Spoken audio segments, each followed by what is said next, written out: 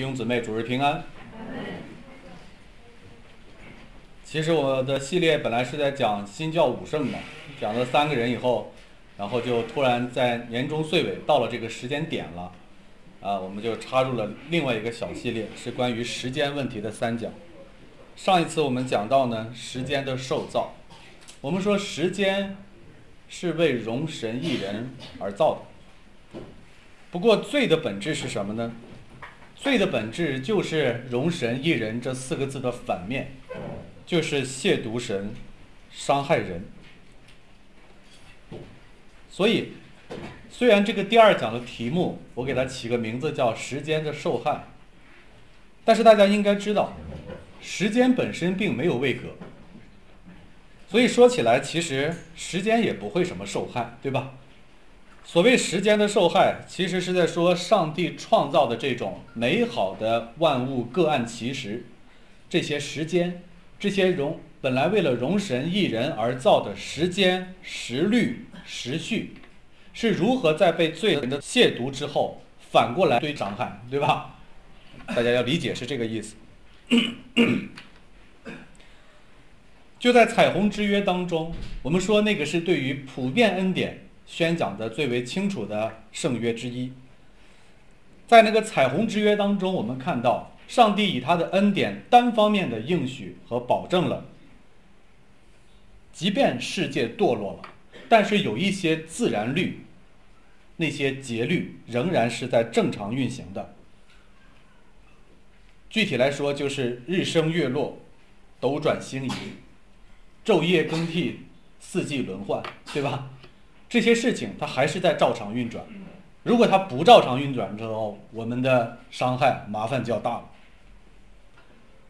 所以罪呢，对于时间的伤害，主要不是天上的节律。你人的罪再大，地球还是绕着太阳转，是吧？所以它的这个节律的伤害，其实最主要的就体现在我们刚刚读的那些经文。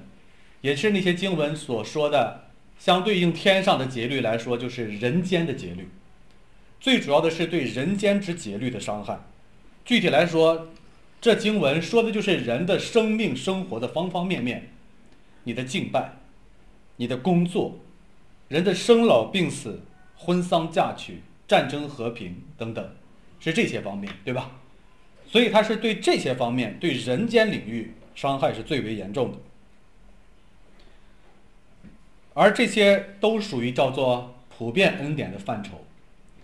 传道书是一个在普遍恩典的角度来讲，最为世人所能够接受的。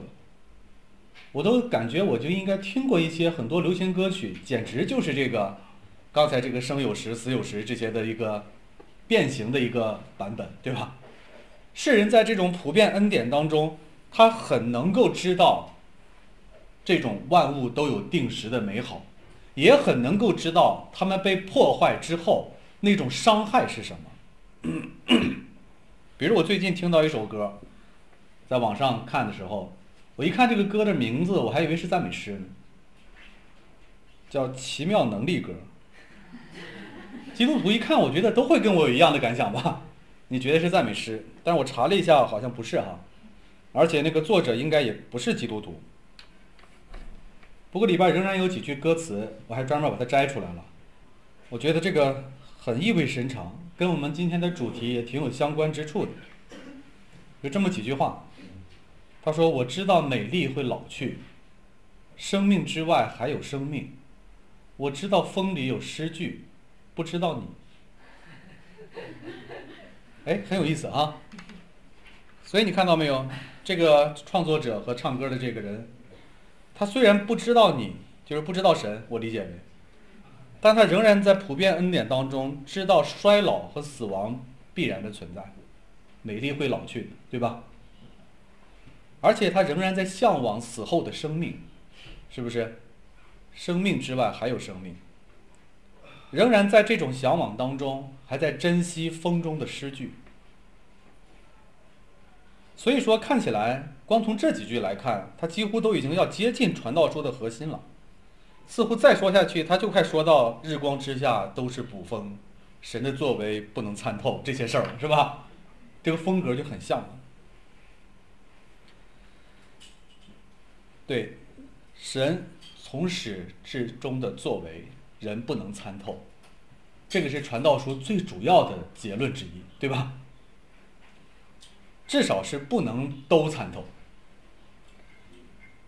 你想，在起初那个空虚混沌的黑暗渊面，三位一体的上帝应该都是参与了创造的。圣经说，神的灵就运行在水面上，对吧？然后神说。要有光，你会发现这里边三位一体都在了，是不是？说就是那圣道。所以，虽然知道三一神创造了这个世界，但是那个具体的细节，我们其实是不能够全部参透的。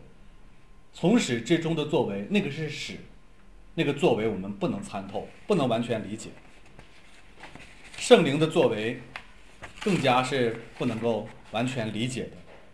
圣经怎么形容圣灵呢？说它像鸽子，有时候像火，又像舌头，又像最主要的是说它像风，是不是？像风，说它随着自己的意思吹，你听到风的响声，可是你不晓得它从哪里来，它往哪里去。所以，任何人想要去操纵和利用圣灵。那都叫做名副其实的空虚和捕风，是吧？是没有意义的，因为风是没有定向的，它要做的事情是在一种混沌系统当中，你不能掌握的。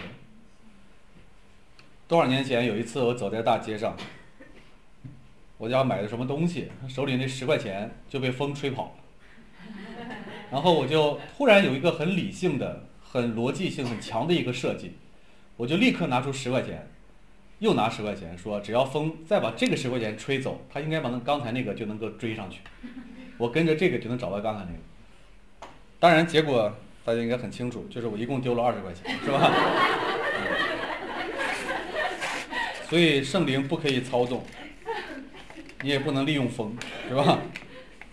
就像风中的诗句，你只可以欣赏，没法分析。风的作为，你可以感知。你很难证明，所以鲍勃迪伦那首歌也有大智慧在里边的。你问我答案是什么，朋友？答案在风中飘，是吧？对基督徒来理解，这是黑非常意味深长的。同样，他说到美丽终究会老去，这也是因为罪。经上说，罪是从一人入了世界。死又是从罪来的，于是死就临到了众人。死亡、衰老、美丽会老去，这个说的都是叫做一个时间或者叫伤的单向性，对吧？传道书当中有十二章，另外那一段的经文我也是非常喜欢的。他说我们要纪念造我们的主，趁着年轻的时候，不要等到。后边一大堆的排比句，说的就是世界最后怎么败坏的，对吧？不要等到看守房屋的发颤，有力的屈伸，推磨的稀少就止息，从窗户往外看的就昏暗，街门关闭，推磨的响声微小，等等。最后银链折断，金罐破裂，瓶子在泉旁损坏，水轮在井口破烂，尘土仍归于地，灵仍归于赐灵的神。所以说，当罪进入世界之后，你发现生命虽然生命之外还有生命，但是生命本身在你可见的范围内终将衰老和败坏和灭亡，这就是一种单向性。所以严格的来说，其实没有什么进化论。严格的说，宇宙当中最终极的规律之一叫退化论，对吧？万物都会消亡，会退化的。达尔文想要来正面挑战加尔文之前，其实还应该先过一下开尔文这一关，开尔文的热力学第二定律，对吧？所以呢，我们需要像这个经文所说的，《传道书》的经文所说的，我们要趁着年幼还没有衰败的时候，纪念造我们的主。为什么呢？因为如果不是他恩典的保守和命定，衰老、死亡、彻底的败坏这些事情终究是不可避免的。是因为有神的恩典在其中工作和运行，秩序和生命才得以暂时存在，以及指向那永恒的存在。所以从教义的方面来讲，我们说在彩虹之约当中，对于自然节律的这些守护，或者说是在这种人间的节律当中，上帝各按其时使其成为美好的那个万物和它的这个节奏感。我们说上帝对他的安排保守命定，在教义上，我们通常把它叫做上帝的护理之功。护理之功，啊。所谓护理，意思就是说，上帝在创造宇宙万物之后，不是把你一脚踢开，放任自流，让你自生自灭，而是说还要透过他全能的护理，引导着被造被造界照着他的命定旨意，最终要达成他预定的目标。所以说，这种护理的教义，其实已经在反对各种。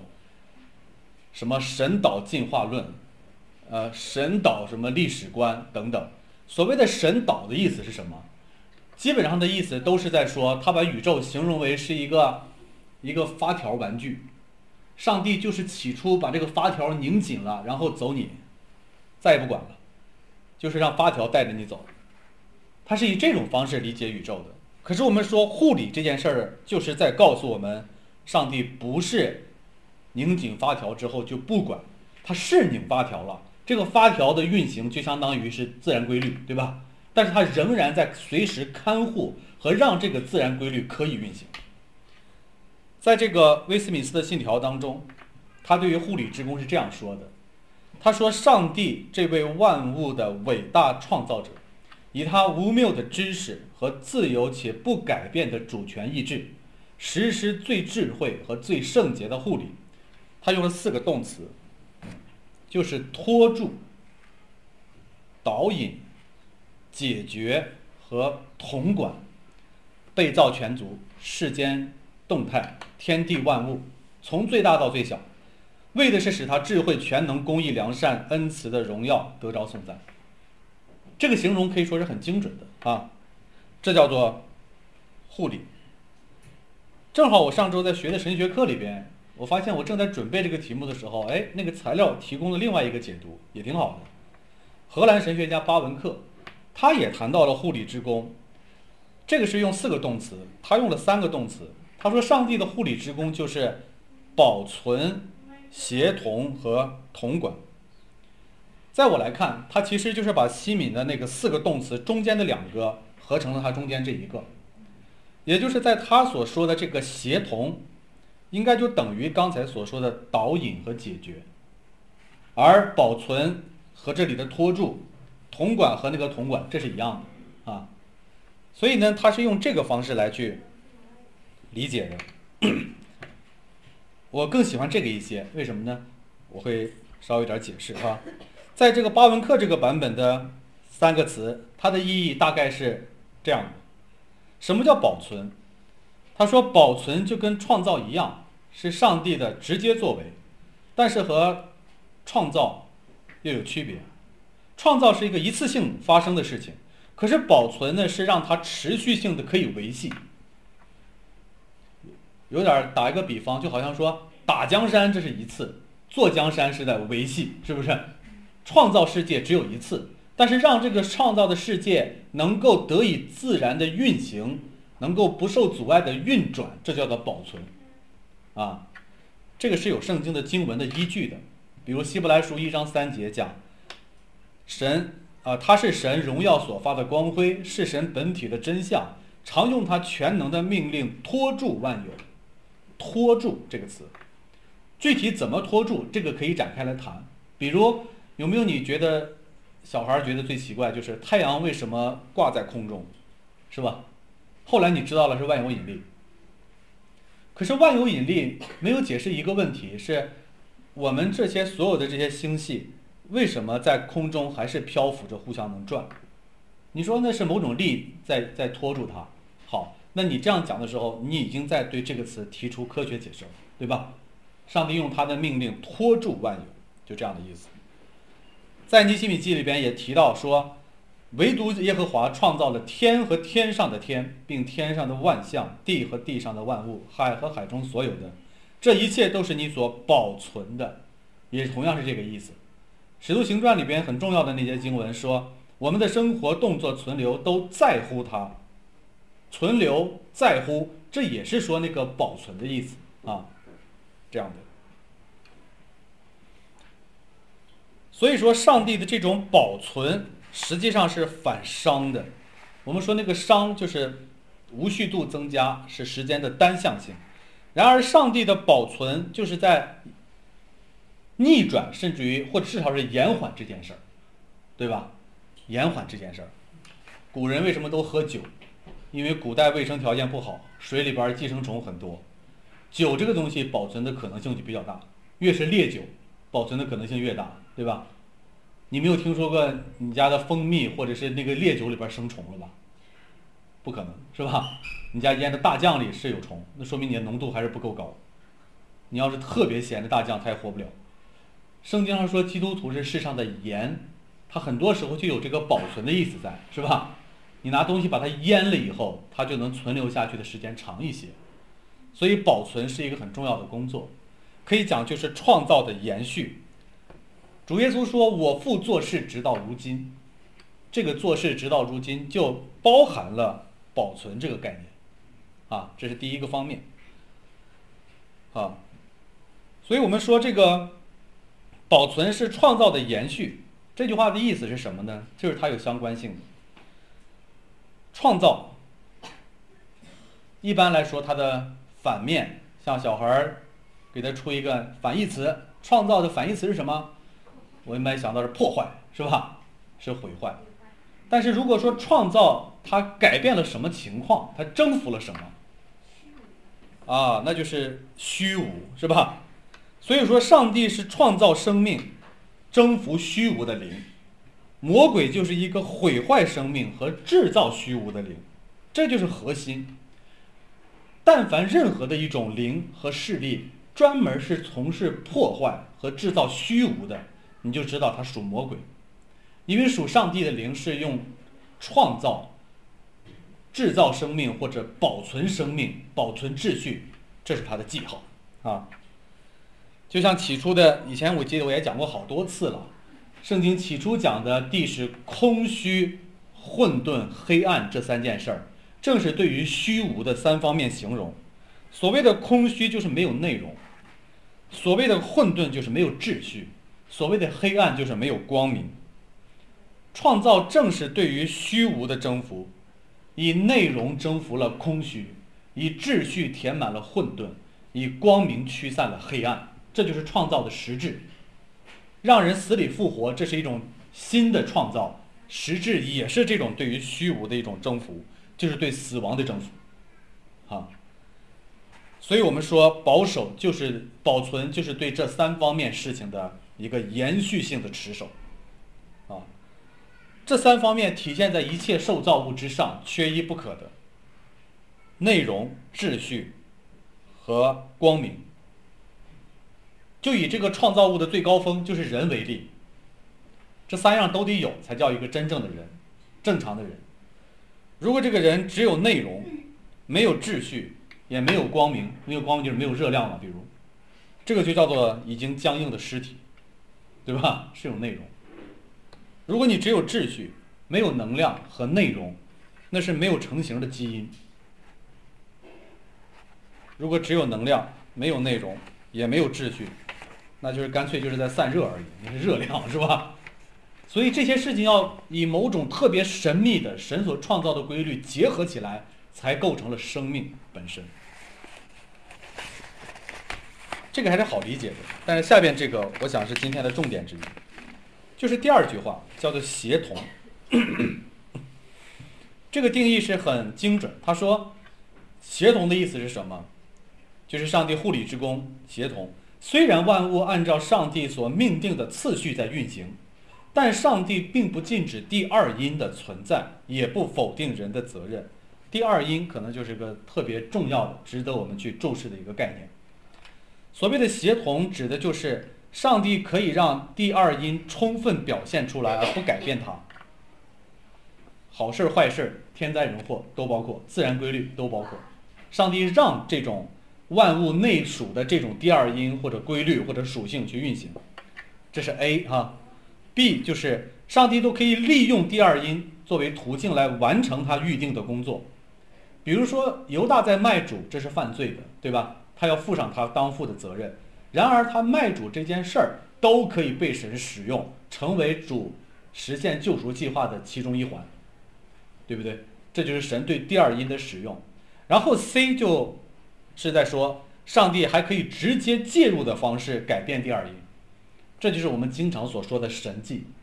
第二因在不会引起混淆的情况下，基本上你可以等同为就是自然规律，或者我们说的那种节律，对吧？这种时序，这种节律，上帝对这些节律通常是让它去运行的，但有时候也可以去利用它，有时候还可以直接干预它，这就是说协同的意思。所以中文我们把这个巴文克用的这个词翻译成协同，当然了，那个原文是荷兰文，我也不知道它是什么，是吧？只是根据中文、英文看到，它这个翻译叫协同，我觉得翻得非常的精妙。因为协同这个词，最近正好看了一本书，它叫《协同学》，是一个科学的著作，它用的是下边这个词，第二个词，而这个词又来自于第三个词的这个希腊文。第二个英文来自第三个，你一看就知道它是字根是一样的，是不是？来自第三个这个英文，呃，希腊文，而这个希腊文就是我们熟知的那一句话“万事互相效力”里边“效力”那个词，那个原文。所以说万事互相效力，就等于说万事互相协同，使蒙召的人得益处，就是那爱神的人。所以我说这个词翻译的挺准的，而且很很很微妙，这种微妙性就体现在。这种规律性的东西是很奥妙的，所以我想给一个这样的定义：到底什么叫协同，或者说其中的协同的第二因，就是那很多时候啊，绝大多数时候指的是什么？就指的是上帝那个看不见的手，就是内禀于万物当中的真正的那种物理，万物之理。是神所命定的一些定理、定律、定期。我们可以把这个叫做第二因或者协同，万事互相效力。它到底怎么互相效力的？这个就是很多人不是真明白的话，对吧？你光知道起因和目的，但这个过程是什么，不见得都清楚。所以很多时候，我们对于上帝的心意不能够认识。不能够接受，特别是在我们谈到跟预定有关的一些问题的时候，我们总是在迷惑，我们总是摆不清神的这个预定旨意和那个能力和我的责任以及第二因之间的关系。其中一个核心的问题，可能就是因为我们没有搞清楚第二因的存在和性质。具体表现为，就是在上边所说的协同的 A、B、C 三个方面，很多时候基督徒过于看重 C 了。忽视了 A 和 B，可是你要知道，A、B 才是常例，C 那个叫特例，对不对？那个很经典的笑话，很多人都听过。一个基督徒困在洪水当中，求上帝来亲自来救他。这时候呢，警察划着皮划艇来了，说：“快上船！”他说：“我不用警察来救，我要上帝亲自来救我。”过了一会儿，邻居又可能整了几个木板子、大木盆儿飘过来了，说：“快快快上！”他说：“不，我不用你邻居救，我不能借助人的手，我要荣耀上帝的名，要上帝亲自来救我。”最后，特警开着直升机来了，掉下个梯子，赶快往上爬。他说：“我不仰仗人的势力，直升机，我要上帝亲自来救我。”最后他就死了，在天堂见到上帝，很抱怨：“上帝，你为什么不来救我？”上帝说：“我都派了三个人去救你了。”是你不要来吗？对吧？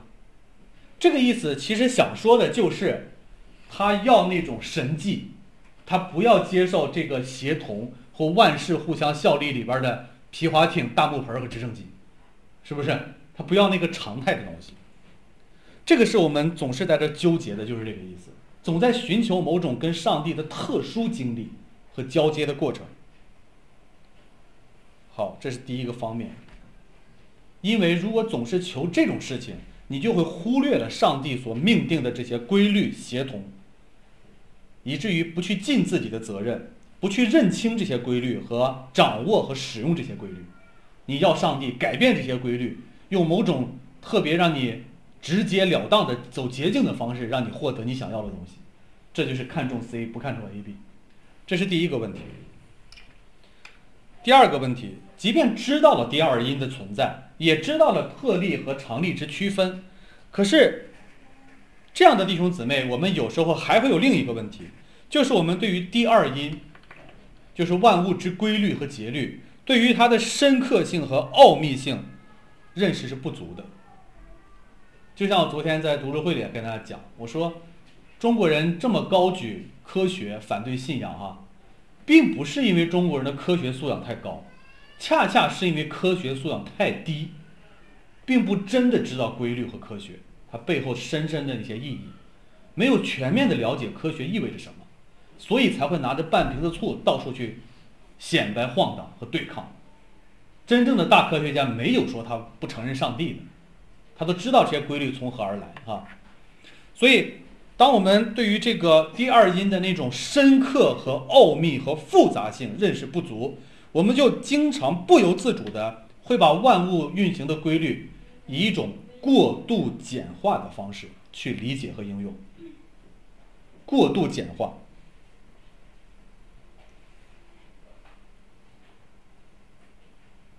你要知道。上帝创造非常的奥秘和伟大，对吧？但这种奇妙和伟大其实有两种表现方式。第一种的表现方式是简洁、整齐、有序，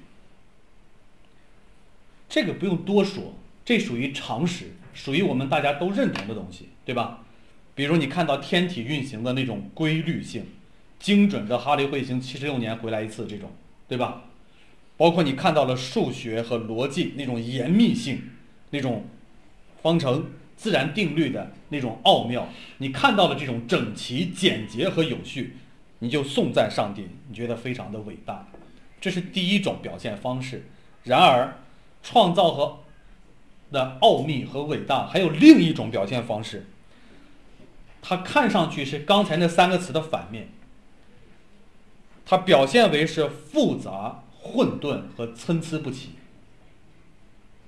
当我们看到这种事儿的时候，就会觉得出乎你的意料。你觉得这个怎么也可能是上帝的美和伟大和奥妙呢？好，现在看来必须要举个例子，再不举，我们大脑的这个熵就要增加到要爆炸了，是吧？比如说，我觉得，假如你这两年咱们都呃经历过，也看到过这种事儿，比如说。前两天、前两年有一种大蒜被炒得很热的时候，叫蒜你狠，是吧？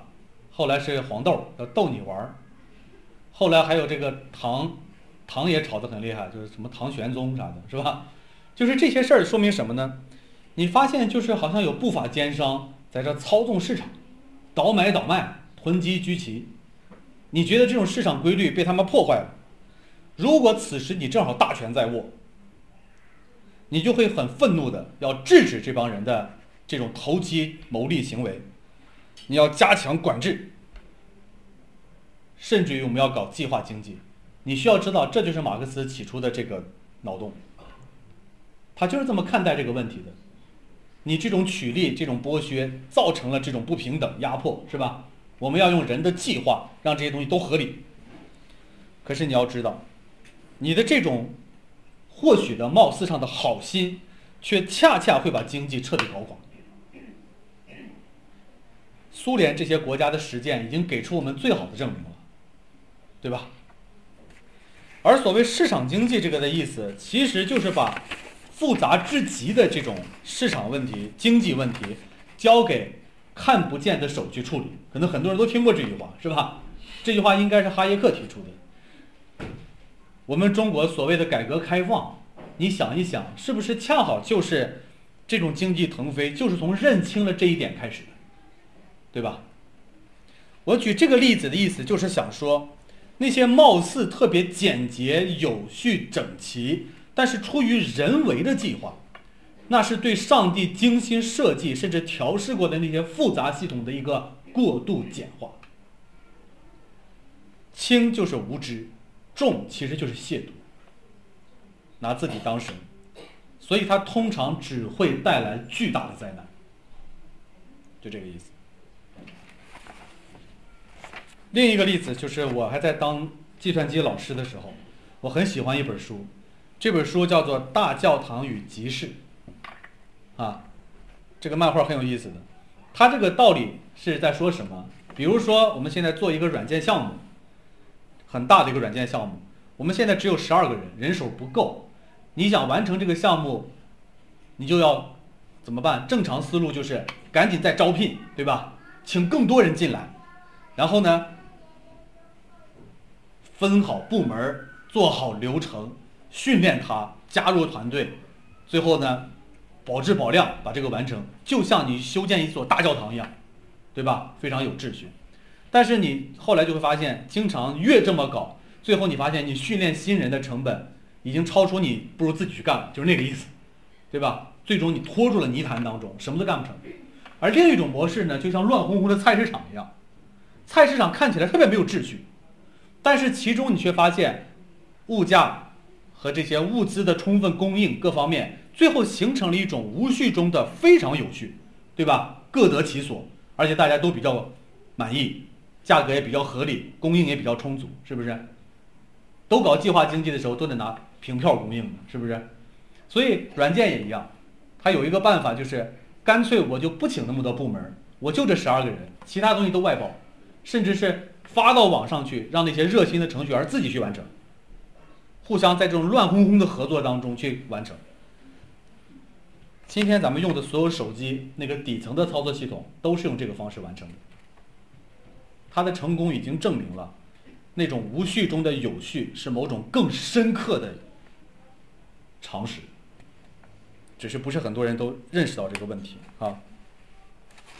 所以我想说的意思就是，对于上帝那种复杂性之美和那种看似不整齐的整齐，看似没有秩序但其中隐含着大秩序的那些东西，我们认识的太少。这种大型软件项目或者人类经济活动或者历史这些事儿，其实这种大部分系统都属于一种极度复杂的系统。在这种系统当中，上帝所设计的那个第二因，具有某种特别深刻的、不那么容易发现的最高的美感。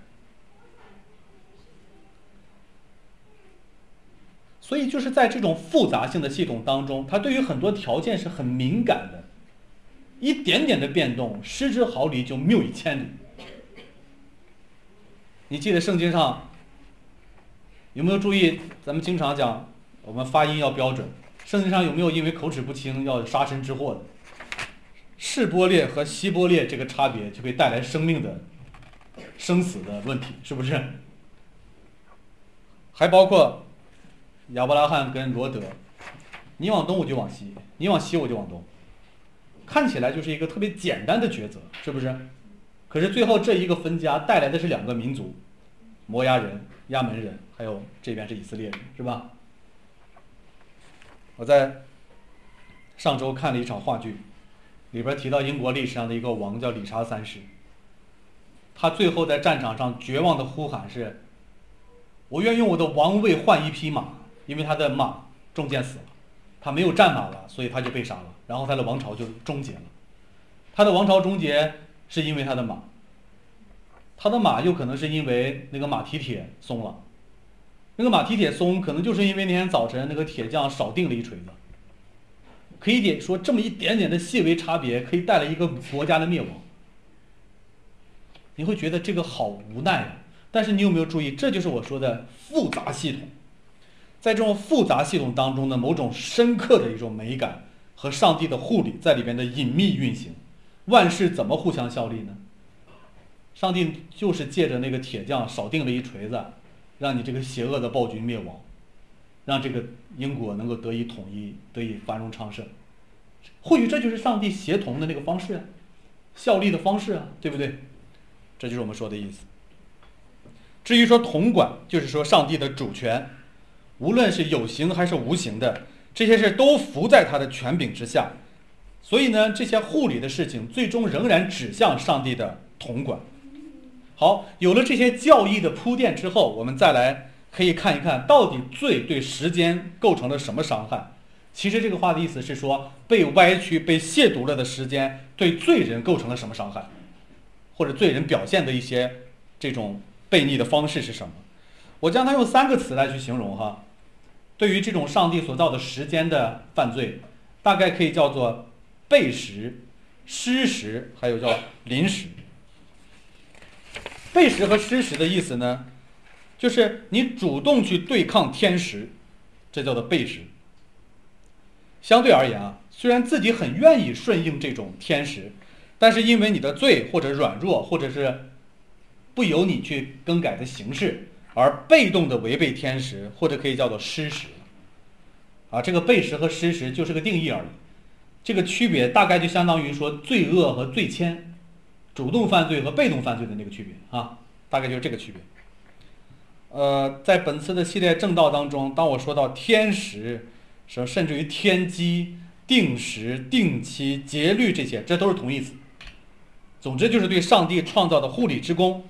在时间方面的护理之功的不同描述，啊，好，背时之罪首先就会变成叫做改变时间的定义。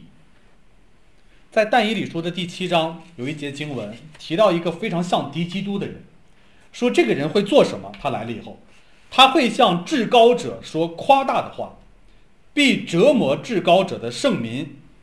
下边那句话叫必想改变节期和律法。所以呢，改变节期和律法，也就是改变纪年、改变节期、改变节律，目的都是改变时间的意义，因此就构成了对上帝的对抗。或许只能过国产的节日，不能过洋节，就有可能属于这个。但是另外一种，比如这种东西，我们以七乘二十四小时的工作制，大干一百天。怎么怎么样？这种就是不折不扣的，一定属于在对抗天使，因为上帝要人六日工作，一日敬拜，是不是？而且这六日工作在每天也是叫做日出而作，日落而息，没有叫七乘二十四小时这么干的，这就是拿人不当人，这其实在对抗天使，你要明白。你把自己要搞成这么忙，也是一种犯罪。当然，很多人是被动的搞成这么忙，对吧？这是一种背时。另外一种改变时间的定义，更常见的做法，就是改变时间的记录，或者改变这个记录的意义，就是通常说的篡改历史。奥威尔有一个小说叫《一九八四》，里边对这个有特别精彩的描述，但是你并不需要非得看这本书才能明白要说什么，因为它的核心精神。完全可以在我在网上找的一首网络打油诗里边找到。你可以看看这这这这这首诗：伟大领袖毛主席，千古英雄张学良，弃守东北蒋介石，逼蒋抗日西安盟，百团大战必万敌，中流砥柱抗日强，反动屠夫曾国藩，汉奸贼人李鸿章，太平天国救苍生，义和全民挽危亡。农民起义皆伟大，地主老财恶如狼。美帝投降中朝胜，文革祸首四人帮。自卫反击打越南，自然灾害闹饥荒。不解释，我只想说一点：如果这些你认为对啊，不都是这样的吗？就是对的呀，这些都是对的呀，或者大部分是对的呀。你如果是这样接受的，已经认为这天经地义了，我就可以告诉你，背时这种罪已经给你造成了不少的伤害。已经给你造成了几乎不可逆的伤害。用没有时态的语言记录没有真相的历史，正是一个没有记忆的文明能够活下来的没有后路的选择。再下边背时之罪呢，还可以体现为对上帝那个护理的意义和定义的歪曲。比如举个例子来说，刚才我们提到叫做“自发秩序”这个词，对吧？在哈耶克这些经济学家在他的定义和使用当中，这个词很可以接受，因为他说的“自发自发秩序”就等于是在说，在市场当中上帝看不见的手在运行，它是相对于人为秩序来说的。他说那儿有一个自发秩序，这是可以理解的。可是，在其他一些人用这个词的时候，不见得就心存敬畏。就我刚才说的，我读那本书叫《协同学》，那个作者一个德国的，一个可能是学者吧，我觉得是个有点像假学者哈。他写的这个东西呢，就以一种特别奇怪的方式，他把这个自发秩序认为就是有机物、无机物当中自己就有的，由自然选择带来的某种内在属性。世界的演化和进展都是从这儿来的，他基本就是这个观点，写的非常肤浅，所以非常不好哈。所以这种做法其实就是在歪曲了一些个术语和定义。然后背时之罪第三个方面还可以叫做跟刚才有相关，就是罔顾上帝的护理，要悍然建造巴别塔，来去取代看不见的手。首先，我们记得以前我讲约拿书的时候，第一讲前传我就讲巴别塔，对吧？有没有想过这个问题？就是上帝为什么要人分散全地居住？这个问题，为什么要人分散？其中就有一个很重要的原因，就是说唯有分散，人才能够去更多的去遇到蕴含在第二音里的那个自发秩序。只有人在分散之后。才能够以无序中的有序，更好的实现叫万物各从其类，万国颂赞上帝这个计划。为什么这么讲？所谓的分散，它的意义恰好就是叫做制造尽可能多的小共同体和他们的边界，对吧？这样才能产生更丰富和更繁多的生命和文明。这是什么意思呢？啊，比如说，大家知道，在海水、海洋当中，有一些是冷水鱼，有一些是可能亚热带的那个热带鱼，对吧？在冷水里边，鱼是挺多的，对不对？在热带的那些热水暖流当中，鱼也是挺多的。但你知不知道什么地方的鱼是最多的？是冷暖洋流交汇的那个地方，这个地方是鱼最多的地方，因为它有最多的可能性和那种生命力。所以呢，生命它的本质其实就是不平衡，不是平衡。你的体温如果跟外界平衡了，就说明你死了，对不对？你的心电图。如果它平衡了，这就是死了，是不是？所以生命的特征就是不平衡，就是那个反熵、那个自组织性在，对吧？所以快和慢相遇，冷和暖相遇，咸和淡相遇，酸和碱相遇，所有的这种不一样的东西相遇，在它的那个界面上、那个边界上。才可能万物生长，生机勃勃。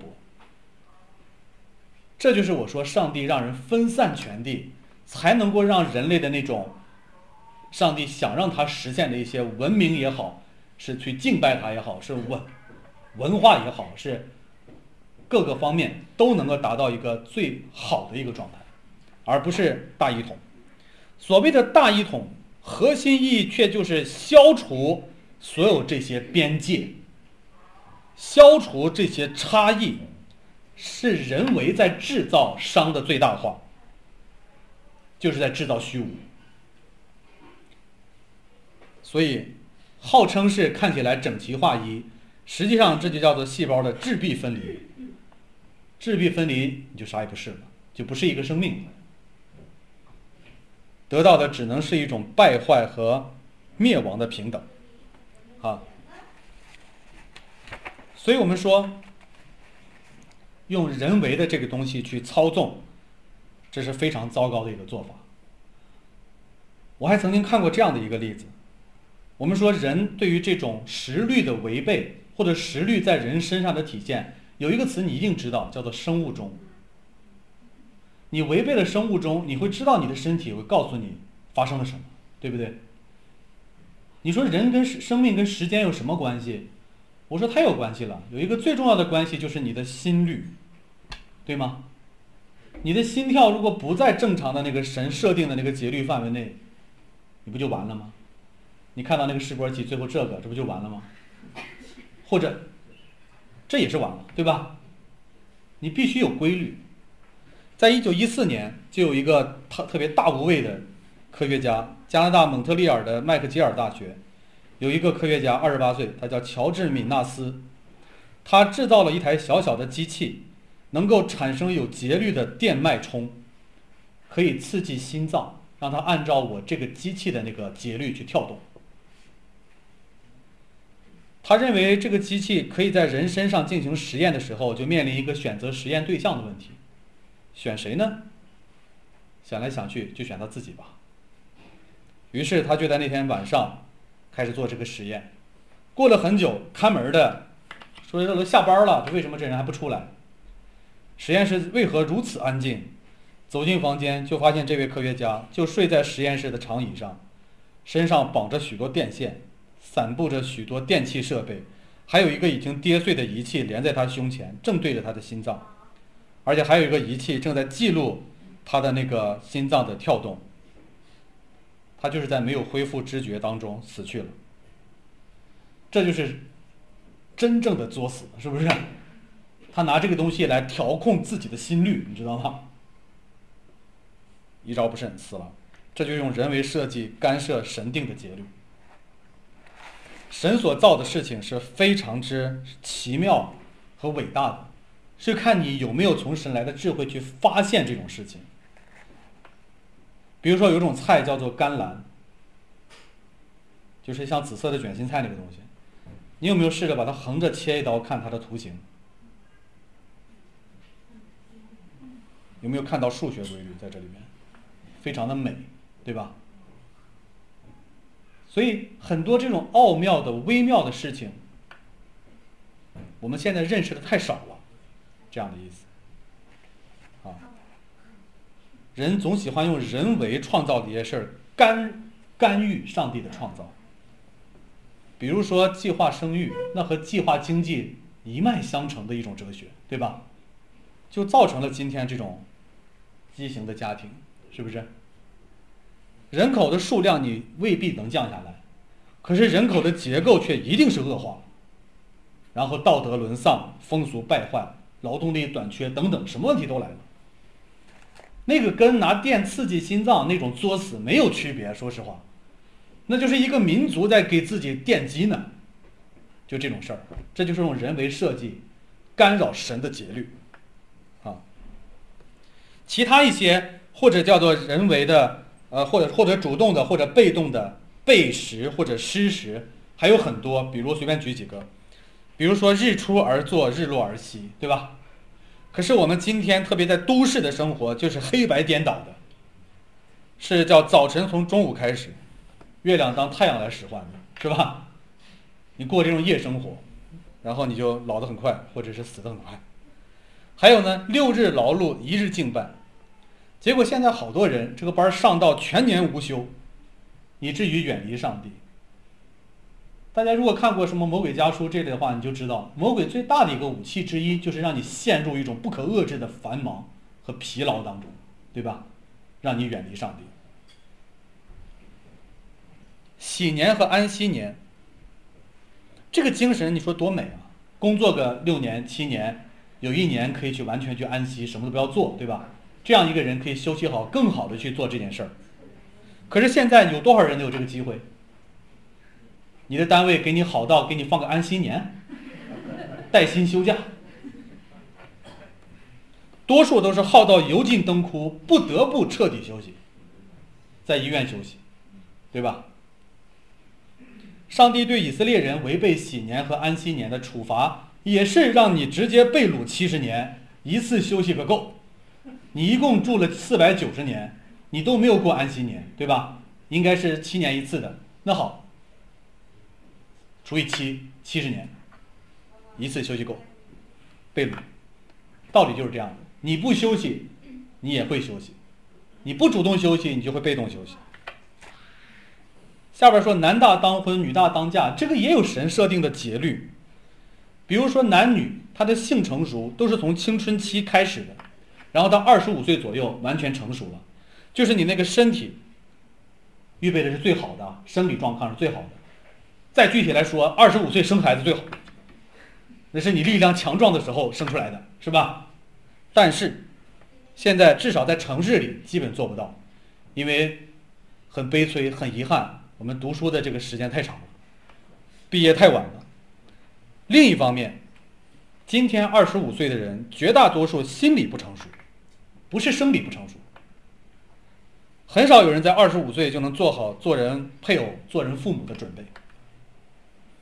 所以，汉现在有好多大叔级顽童，还有中年少女，大量的存在，就说明别二十五，你三十五也未必做好准备了，是吧？还有，我们说生死顺命，一个人的寿数也是神定的。当西西家一定要求增加十五年的时候，你会发现就有一个另外非常奇特的神迹发生了，那个日晷倒退了十度，对不对？这里边就有隐秘的呼应的，已经在告诉你，对于时间这种命定的节律的改变要付代价的。你得十五年，这儿倒退一下，告诉你这里边有代价。他的那个代价也很沉重，国破家亡，甚至于后来，对吧？所以，有多少人能够真的像保罗一样说：“我现在被交电，我离世的时候到了，很清楚知道我离世的时候到了，而不是说上帝啊，再给我增加十五年吧，我还有好几个地方福音没传到啊，我还想去一下中国传福音呢。”不用那样，对不对？你的时候到了就是到了，生死顺命，不要在那妄求一些东西。这些都是或主动或被动的，对于上帝造的时。这种万物各担其时的那种违背和伤害。另外一种对于时间的伤害，或者说时间对罪人的伤害，体现在的另一个方面叫做临时。临时是什么意思？就是没有计划，随机做事，各种临时起意。你有没有发现，我们教会也好，不是说教会才存在啊，中国绝大多数地方都是这样的。我们预告一个一个月以后的活动，让你现在报名，几乎没有任何人能够确定他在一个月之后那个时候有没有时间参加活动。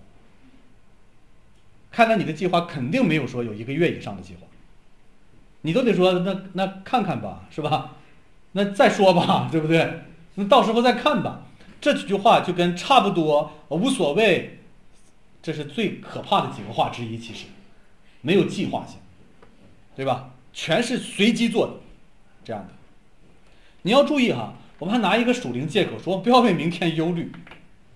你要知道，不要为明天忧虑，不等于不要为明天做计划。主还说呢，你们哪一个人要盖一座楼，不先坐下算计花费，能盖成不能呢？对吧？恐怕你开工不能完工。他说你一定要有计划的。临时的意思就是说明。罪对人的伤害越深，人对于时间的看法就会越来越短。有一句话叫“人穷志短”，是不是？这不是说光你是钱方面缺乏你就志短了，是说罪对你伤害之后，这个人对于时间的看法就越来越短。经济问题还真不是其中最重要的。有钱的很多富人，他也一样在那贪图享乐，他对世界的看法、时间的看法也很短暂。对吧？就像在这个史书上记载着，汉武帝的时候，有一个人叫做主父偃。这个人有一句著名的一句话说：“丈夫生不无鼎食，死即无鼎烹耳。”他的意思是说，我如果无鼎食，就是拿那个大鼎煮食物给他吃，意思是高官厚禄。我如果能够在世的时候获得这种幸福，这种高官厚禄，我死的时候被无鼎烹，就是。被人五马分尸都可以，这就叫做一种顾眼前，对吧？我管那个呢，就是这意思。或者说，有人一个晋朝有个叫桓温，这个人的一个特别著名的话，你可能不知道他说的，他说一句话叫做“大丈夫若不能流芳百世，就要怎么？就要遗臭万年。”这句话在说明什么呢？就是当最进入的人里边以后，他一方面对时间的看法越来越短，可是另一方面，今天读的经文告诉你了，神把永生放在人的心里，对吧？他对心里对于永恒的渴望还是在，所以他就要以某种奇葩的方式实现这个永恒，不能被人记住美名，那么记住一个臭名也可以。想用各种的其他方式去征服时间。或者我写一个名著传下去，或者我做了一件什么大事儿让大家记得我，这样的意思。他想用自己的方式实现永恒和永生。说了这么多东西以后，我们说了这种罪的伤害，说了护理的教义，最后我们回到传道书。时间的单向性在罪人来看本身就是最大的伤害，有死亡存在。可是，在这种一定滑向空虚败坏的过程中，竟然还有秩序和生命，这就是最大的一个奇迹。因为上帝安排了那许多的节律和定时，因此，人所谓的与神同行是什么意思？有时候姊妹们逛街喜欢手挽着手，闺蜜在那儿同行，对不对？你有没有注意一个问题？两个人一起逛街，最后你俩的步频是一样的，对不对？如果一个人总是特别快，一个人总是很慢，那那为什么你俩要逛街呢？对吧？他应该是一样的频率在走。所以你与神同行，说的就是在这种频率和节拍上，你符合神造的那些节律了，这样的一种意思。这样的人在圣经上叫做智慧人。比如经文那边有这样的一些其他的经文说。以赛迦支派有二百族长，都通达时务。传道书也提到说，智慧人的心能辨明时候和定理。还有在以斯帖记里边提到说，这些智慧人是知利明法的人，对吧？所以，智慧就是辨明定理。这里边这个定理这个词，它的解释的意思就是惯例、程序、裁定、判断这些事儿。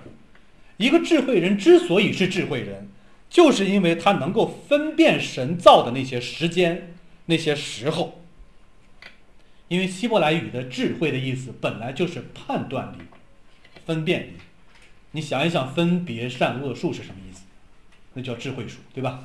判断力就是智慧。而合神心意的那些惯例、程序、裁定、判断，那就是要万物的节律，就是第二音。你要能够更多的掌握这些，你就会真的是成为智慧人。而这些东西，要么来自神的启示，要么来自漫长的时间在真正的历史当中凸显出来的一些结论。你对于这两样事情的把握，这就叫做所谓保守主义的精髓了，啊。当然，又来另外一个问题了：人因为自己的有限和有罪，原则上来说，你不可能完全了解这些时候和定理。你甚至连大部分了解也做不到，就像经文说的，各样事物成就都有时候和定理，是的确如此，道理上如此。因为人的苦难重压在他身上，他不知道将来的事儿，因为将来如何，谁能告诉他呢？是有定理，可是你不知道，对吧？是有时候，可你没有那个智慧去分辨，这是人的一种悲哀。所以未来。对于预定了万事的神来说，他已经就在那儿了，是存在的。可是对于我们来说，它的确是一个尚没有展开的画卷。因此，在这种情况之下，刚才如果所说的那种辨明时候叫做智慧，现在我要说是二阶的真智慧。真智慧是什么？也是传道书说的。他说，在日光之下，快跑的未必能赢。力战的未必得胜，智慧的未必得粮食，明哲的未必得资财，灵巧的未必得喜悦。所临到众人的是在乎当时的机会，出现了一个时机问题，对吧？时候之上还有时机。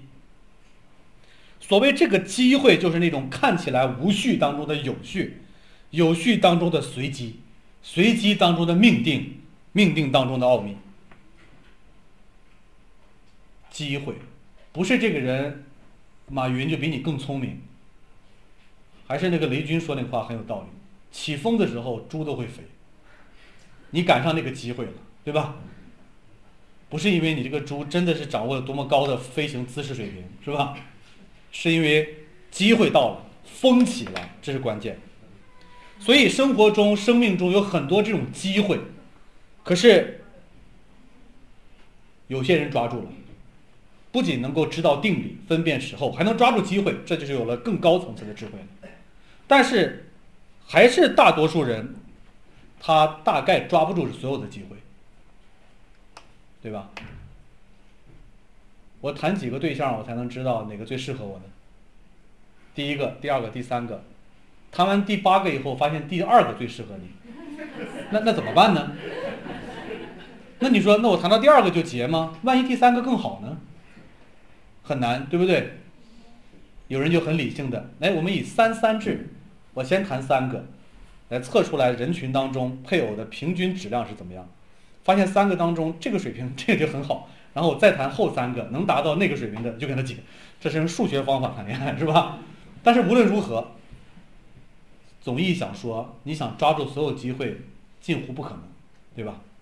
可是这个不是让你绝望，意思就是说，很多定理时候我没有那智慧了解，很多好的机会其实我也抓不住，然后这个时日又很短暂，在这种悲哀之下，如果你以为传道书就让你绝望的，日光之下空虚捕风，你不能参透，所以认命吧，这你就完全误会了，其实。传道者紧接着就指出了，我可以称为叫的终极智慧，叫刚才那个是智慧之上叫真智慧，这个就叫真真智慧，终极智慧，就是一个人在面对把握不住的时机和转瞬即逝的时日，他应该在恩典当中学会叫做时常感恩知足，这句话很重要。他说：“你只管去欢欢喜喜吃你的饭，心中快乐喝你的酒，因为神已经悦纳你的作为。你要注意这句话就是旧约里的因信称义。我们说因信称义，因此你需要去分别为圣的去过，就是在告诉你，是因为神已经接纳了你，你才为了感恩和荣耀他做那当做的事儿，而不是我要做什么好事儿。”好来去取悦上帝，让他称我为义，对不对？我们一直在反复说这个神学的区别，对不对？可是这个不是在新约里才有的，旧约里就有。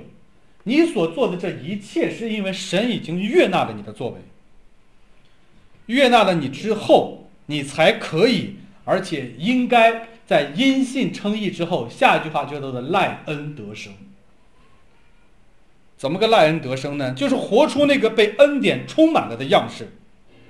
具体来说，就是你要时刻保持敬虔，就是你的衣服要时常洁白，你要总是保持高贵，你的头上不要缺少如同高王的那些膏油，你要有高贵，以及虽然日子很虚空，你要跟你所爱的人。你的妻子、你的丈夫快活度日，那是你当得的份。所以，时刻敬虔，总是高贵，常常喜乐，这才叫终极智慧。无论你知不知道定理时候，你抓不抓得住机会，你仍然可以这样去过。当你这样去过，你就是在与神同行，就是在地如天了。所以，盼望我们的神赐给我们第一种智慧，或者赐给我们第二种的真智慧。但我们最盼望的是上帝在他的恩典当中赐给我们这样的终极智慧，让我们虽然还活在时间之中，但不再受时间的伤害；虽然还活在世界里，但不再被世界的漩涡把你卷起、裹挟走。让我们真的可以去因信称义，赖恩得生。过上这样的荣耀神的在地如天的生命。好，让我们来祷告。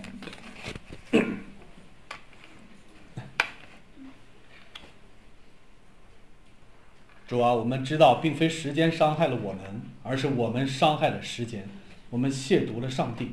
主啊，我们以各种人所定的节奏、节律、生命计划来去掌管自己的人生、自己的生命，甚至于去干涉别人的生命。